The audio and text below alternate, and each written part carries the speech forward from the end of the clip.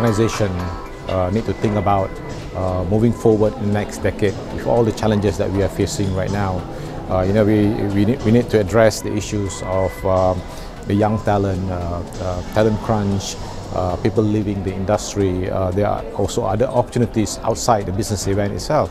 I think this, this, this will pose a deeper question on um, what is it in for the future generation to, to enter our industry.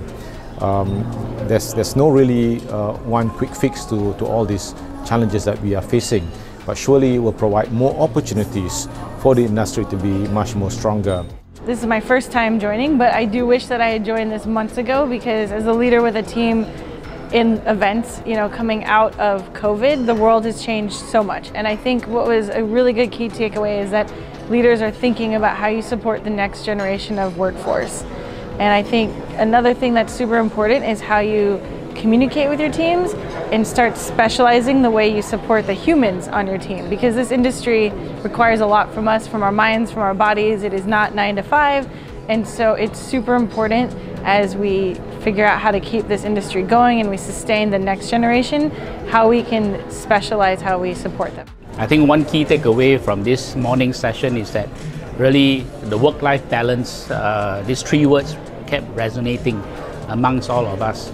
So I think if you ask me really what is the key takeaway for me is that there are issues they are facing, uh, work-life balance, trying to integrate, I wouldn't want to use the word younger generation, but trying to integrate the entire workforce in this very challenging environment was one of the key takeaways.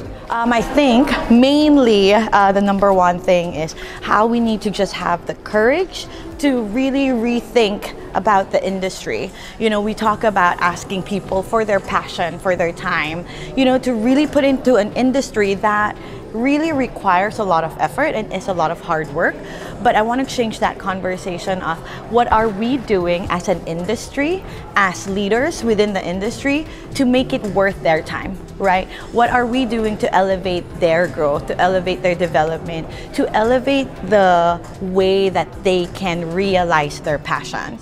Uh, I think one of the key takeaways really is the idea of being open-minded um, and you know not operating the same way we've always done, but more embracing the possibilities, right? That uh, there can be transformation, there can be change, and uh, working towards executing events um, in this industry uh, in a new world and in a new way.